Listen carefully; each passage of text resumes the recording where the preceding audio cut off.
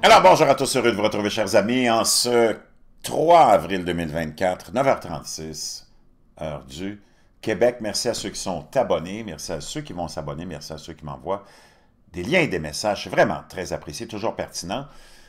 Aujourd'hui, je vous parle de quelque chose de complètement, complètement renversant. Que tu sois croyant ou non, il y a des choses qui sont renversantes et qui nous proviennent d'il y a très longtemps des Écritures saintes. Et c'est de ça dont il va être question. Le 8 avril, vous le savez, il y a cette éclipse euh, solaire euh, totale qui sera visible dans plusieurs pays, dont le Canada, les États-Unis, entre autres, peut-être le Mexique aussi. Il y aura beaucoup de gens, il y a une quarantaine de millions de nos euh, frères et sœurs qui vont être en mesure d'être témoins de ça. Et y en a plein qui vont voyager aussi pour venir dans ces pays où ce sera possible de vivre cet événement très, très rare. Euh,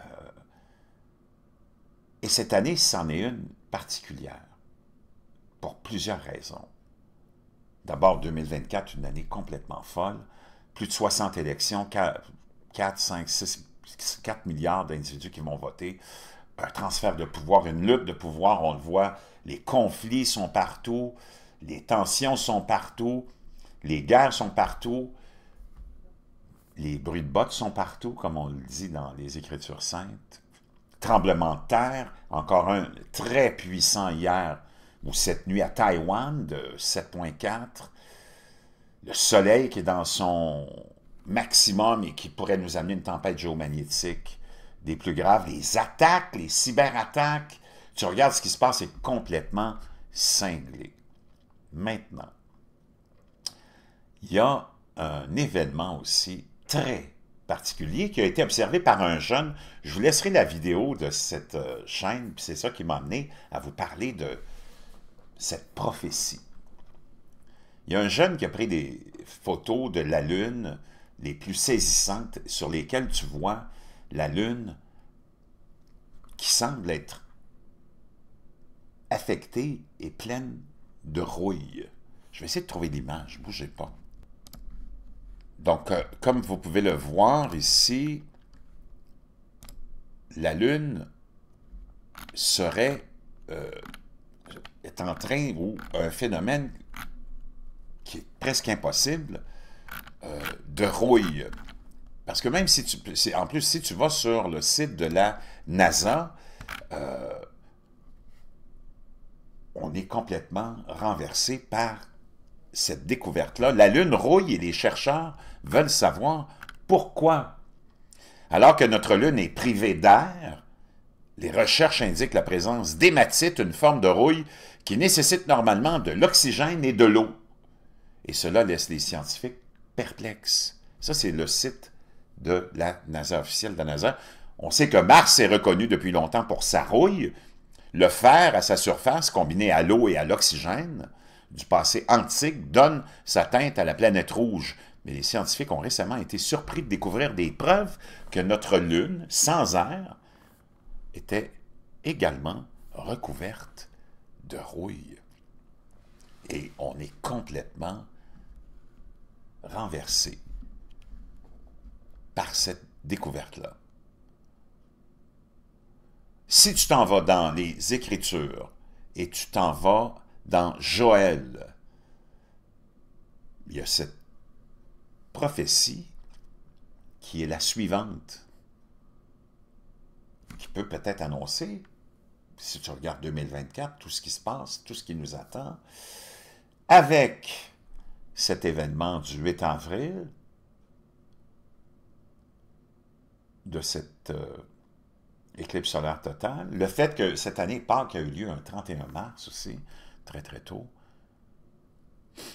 L'affirmation selon laquelle une lune de sang est un signe du début de la fin des temps trouve son origine dans le livre de Joël, où il est écrit « Le soleil se transformera en ténèbres et la lune en sang, avant le grand et terrible jour du Seigneur. » Vient euh, euh, donc, cette prophétie a même été répétée par Pierre pendant la Pentecôte. si on s'en retourne à cette histoire de cette lune de rouille qui euh, trouve son origine, comment? Peut-être dans ce qu'on peut qualifier et cette espèce de présence d'hématite. Alors que la Lune est privée d'air, les chercheurs indiquent que la présence d'hématite, une forme de rouille qui nécessite normalement de l'oxygène et de l'eau, pour être responsable de ça, l'hématite. Si tu t'en vas chercher l'origine du mot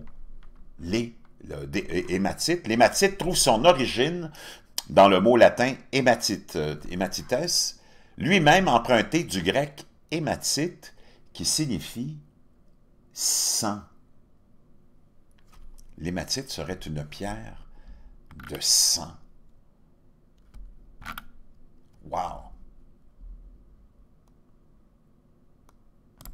Donc, l'affirmation selon laquelle une lune de sang est un signe du début de la fin des temps trouve son origine dans le livre de Joël, où il est écrit « Le soleil se transformera en ténèbres et la lune en sang avant le grand et terrible jour du Seigneur. Anne-Catherine qui m'a envoyé un lien que je remets, plus une information que je remercie euh, pour cette information-là qui euh, nous fait gratter la tête aussi. Et c'est la suivante. La fête de l'Annonciation, cette année, a été reportée au 8 avril, le jour de cette fameuse éclipse solaire. Habituellement, euh, l'Annonciation est célébrée le 25 mars, soit neuf mois avant Noël. Mais cette année, l'Annonciation tombera le lundi saint entre les rameaux et Pâques, donc l'Église a donc décalé sa célébration liturgique au 8 avril. Wow! Complètement hallucinant. Il y a tellement, tellement de choses que tu le veuilles ou non, ça suscite beaucoup d'inquiétudes, naturellement. On le sait, on est dans des temps exceptionnels, uniques, qui vont faire en sorte que tu as beaucoup de gens qui vont vivre dans l'anxiété, avec raison ou non. Qu'est-ce que ça nous réserve? Est-ce qu'il y aura quelque chose qui va arriver? S'il y a quelque chose qui arrive, est-ce que ça aurait été planifié par nos gouvernements?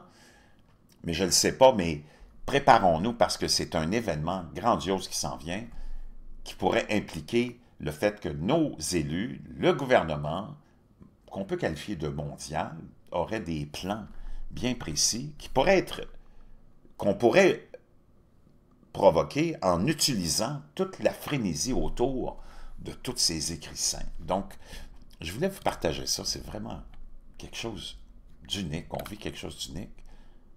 Puis, je peux dire une chose, cette prophétie-là, wow, ça fait que tu gardes la tête que tu vis dans l'anxiété. Je vous reviens.